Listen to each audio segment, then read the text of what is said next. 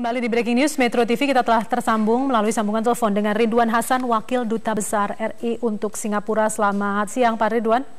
Selamat siang Mbak Selda. Pak Ridwan sejauh ini bagaimana hasil koordinasi dengan pihak AirAsia di Singapura? Ya, jadi uh, kami telah melakukan koordinasi dengan pihak bandara setempat ya, dengan pihak AirAsia setempat dan tentunya juga dengan Kementerian Luar Negeri setempat.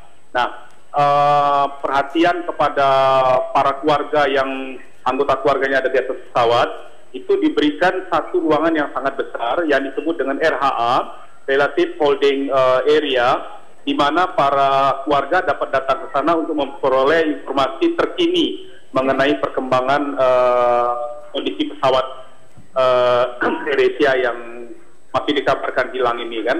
Nah, Nah, di dalam ruangan itu uh, cukup banyak tugas-tugas yang memberikan uh, pelayanan dan juga dari KBRI kita diizinkan untuk berada di sana. Jadi uh, kami pun bersama-sama dengan anggota keluarga yang membutuhkan informasi tersebut. Selain itu uh, KBRI juga uh, membuka posko untuk layanan informasi kepada para keluarga. Mm -hmm. Dan posko KBRI ini uh, apa mungkin ada nomor telepon yang bisa dihubungi juga Pak? Uh, ada, ada nomor teleponnya yang bisa dihubungi uh, sebentar ya. Oke. Okay. Sementara, ya. sementara itu kondisi di RHA atau relatif holding room ini sendiri, holding area ini sendiri seperti apa Pak? Apakah banyak uh, uh, keluarga penumpang yang saat jadi, ini berada di sana?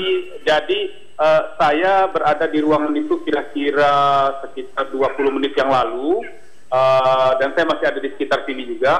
Uh, sudah tadi ketika saya keluar tuh ada sekitar sepuluhan keluarga yang sudah datang ke sana. Oke. Okay.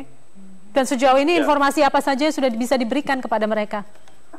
Mereka memang belum bisa memberikan informasi mengenai perkembangan baru ya, hmm. tetapi bahwasanya uh, penumpang pesawat ini kan jumlahnya sebagaimana kita ketahui ada 149 orang ya. dan mostly itu adalah warga negara Indonesia. Tentu ada beberapa warga negara asing di situ. Ya. Terus juga uh, uh, apa namanya uh, pihak Singapura pun uh, bersedia untuk bekerja sama untuk memberikan bantuan uh, penanganan uh, apa namanya itu uh, uh, search and rescue ya. Oke, okay. uh, bantuan search ya. and rescue ini sudahkah di, dilakukan? Apakah pihak Singapura uh, sudah belum, mengirimkan belum, bantuan belum, tersebut? Belum, oh, saya belum karena tentunya kan ada proses ada pembicaraan yang dilakukan ya. ya. Tapi tentu karena kejadiannya kan diperkirakan itu kan uh, di wilayah Indonesia tentunya uh, uh, penanganannya oleh pihak Indonesia dulu. Oke baik, tapi pihak Singapura sudah menyatakan uh, bersedia ya, membantu mereka, ya, ya, Pak? Ya, ya, ya. Baik, uh, Pak Ridwan Hasan, Wakil Duta Besar uh, Republik Indonesia untuk Singapura, terima kasih.